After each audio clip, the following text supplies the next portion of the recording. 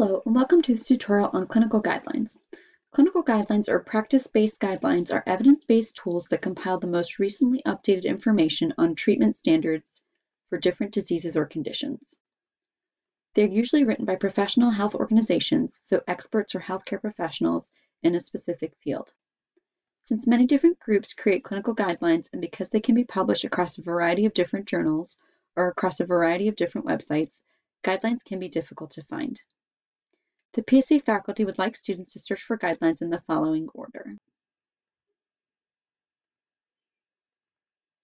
Google a guideline only if given the exact name of the source. This is called known item searching. Next, use the Clinical Guidelines Research Guide, which is organized by topic via the tabs at the top. Next, use Dynamed. So when you search for a specific topic in Dynamed, you will see at the bottom left that there is a link called Guidelines and Resources. Next, go to PubMed Medline. Then after you search for a topic, select the Practice Guidelines filter under article types. Let's go through some of these examples. Say that you're interested in looking for a guideline on diabetes, such as the American Diabetes Association guideline. If you know the exact name, you could search using Google, but you might get older editions in your search results. Be sure to look at the dates of your guidelines to make sure that you're finding relatively recent content or you could come to the Clinical Guidelines Research Guide page. You will see that there are a variety of tabs at the top and that it is organized alphabetically by topic. So if you go to the Diabetes tab in this case, you will see a group of links. The first link at the top called the American Diabetes Association Standards of Medical Care would be the most important. You would select the link and then select Standards of Medical Care at the top. This particular guideline is published every January, but small updates are made to the online version throughout the year. Each guideline publication cycle update is different. It could be either every year, every other year, every five years, or every 10 years. There is no consistency across publications. So next you could go to Dynamed and type in diabetes type 2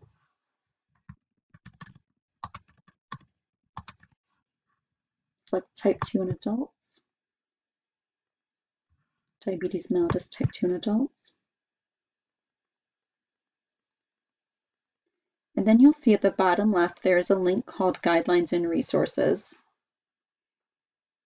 If I select that link, there's a drop down, and then you'll see a link for guidelines. And then there's international guidelines, and as I scroll, there's United States guidelines next. And then there's the American Diabetes Association Standards of Medical Care in Diabetes. So here's a link to the full PDF. Dynamed also lists out the different sections within this particular guideline. When you have a topic that has multiple guidelines, you may have to scroll to find these guidelines. Now let's try searching PubMed. So for PubMed Medline, let's say I'm interested in the topic of delirium.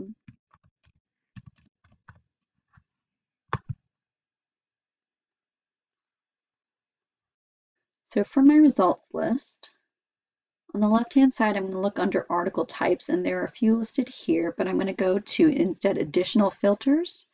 And under article types here, it's going to give me a longer list of possible options. And I'm going to select practice guideline and then select show. And you'll notice that it shows practice guideline as an article type, but it actually hasn't applied it yet, so I have to select it one more time. Then you'll see a little blue check mark appear, little white and blue check mark appear on the left-hand side. And then it says filters applied.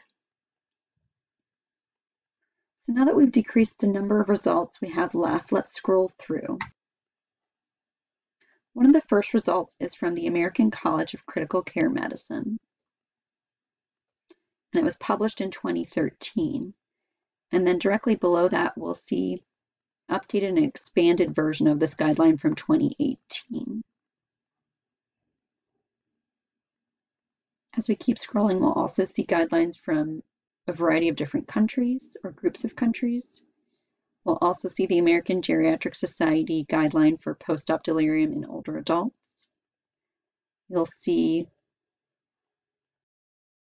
think there's some German guidelines. There's also some Australian guidelines here.